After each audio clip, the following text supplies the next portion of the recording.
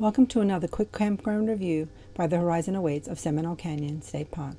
Seminole Canyon State Park is in the state of Texas and is right off Route 90 after you go through Comstock.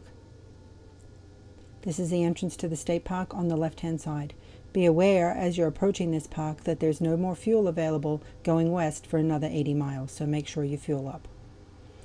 After you take this road along to the park ranger station, you will notice on the right hand side that there are lots of pull through slots here for you to pull your camper while you go in and register for your visit to the park. This is the entrance area to the ranger station. Once you go along this path, you will go into the ranger station, and there are public restrooms available inside the ranger station. Also inside the ranger station, they have a small souvenir store and sell some ice creams and other small items.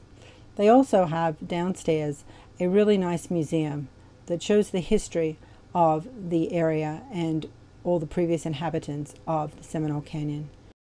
Just outside the museum is a viewing platform where you can see the actual Seminole Canyon. Seminole Canyon is available for touring, however, you have to arrange with a ranger to go on a tour. You're not able to go down there by yourself.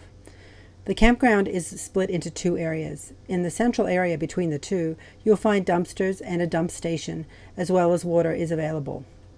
You'll also find the only restroom facility located between the two campgrounds. The restrooms are a little bit older, but they're very, very clean and they are in good shape.